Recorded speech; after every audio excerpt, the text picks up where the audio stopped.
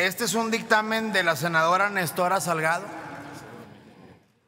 que se dictaminó en la Comisión de Federalismo y Desarrollo Municipal, en el cual se trata un tema por demás importante que son los desplazados, porque ellos son personas o grupos que se han visto forzados y obligados a escapar o huir de su hogar o de su lugar de residencia, en particular como resultado de los efectos de un conflicto armado, de situaciones de violencia generalizada, de violaciones de los derechos humanos o de catástrofes naturales.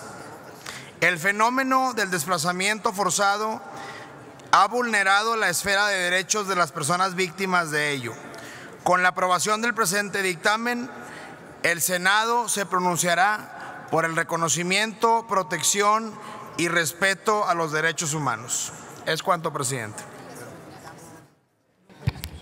Está a discusión el dictamen. Tiene la palabra el senador.